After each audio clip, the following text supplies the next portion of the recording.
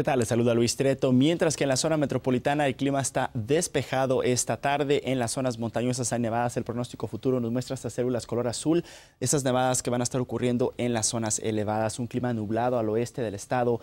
De este lado, en los llanos, está plenamente despejado. Vamos a pasar a las temperaturas máximas para esta tarde. Aquí en la zona metropolitana será de 52 grados y eh, esta noche la temperatura va a caer a los 26 bastante frío como de costumbre por estas fechas. Su pronóstico de los siete días, ve usted cómo cambia el panorama para el día miércoles. El martes 43 mínima de 26 y es el miércoles que ingresa un frente frío. Cae el mercurio a los 29 con el 40% de posibilidades de, de nieve para la zona metropolitana mínima de 20. El resto de la semana se mantiene en los 30 y 40.